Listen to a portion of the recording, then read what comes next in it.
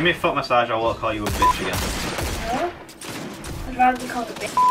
Stop being- oh, you stop being You know you're being a real bitch right now.